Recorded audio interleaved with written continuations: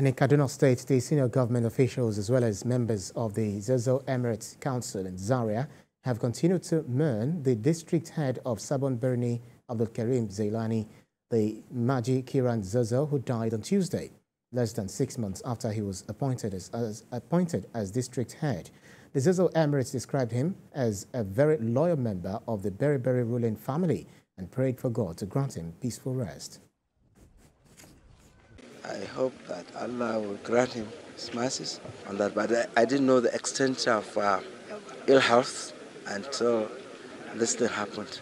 And uh, it so happens that the emir is not in town. How he has assigned me to come and represent him at this funeral rites. I lost gentleman and we wish and pray that God will grant him Al Jannah Firdaus. As the leader of the Beriberi ruling house, that's why I had to abandon everything to attend his funeral because he's very close to us, very loyal member of the Beriberi ruling family, and a person who has contributed a lot to the success of our ruling family.